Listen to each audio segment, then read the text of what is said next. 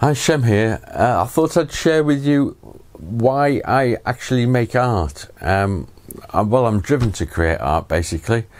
Uh, I started making art for real in about 1983 84, and I just took a deep dive into it and played around with paint and all sorts of techniques, sometimes making up my own techniques and just trying things out and making a mess or whatever. And my art developed over the course of years and I just love to create things, and art and music are the two pillars of what I'm all about as a creative spirit.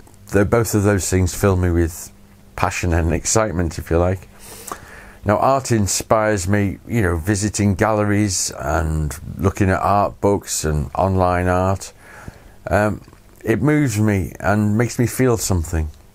So, in my own work, I aim to express myself and feel excited and inspired in the creative process.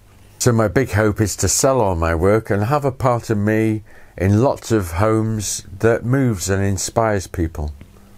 What better thing can you have in your life than that? So, there we have it. That's why I create art. I just love it. Bye for now.